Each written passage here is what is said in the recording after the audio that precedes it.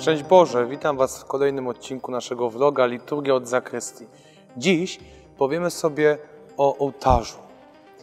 Ołtarz jest centrum i sercem Kościoła. To tu sprawowana jest Najświętsza ofiara. To tu przychodzi Chrystus pod postacią chleba i wina.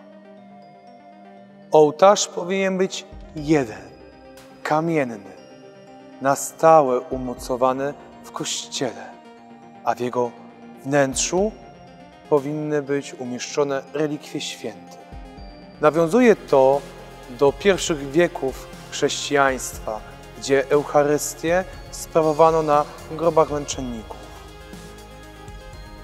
Dziękuję Wam za obejrzenie kolejnego odcinka Liturgii od Zakrystii i tradycyjnie zachęcam Was do lajkowania i subskrybowania oraz do pozostawienia komentarza. Szczęść Boże i do zobaczenia!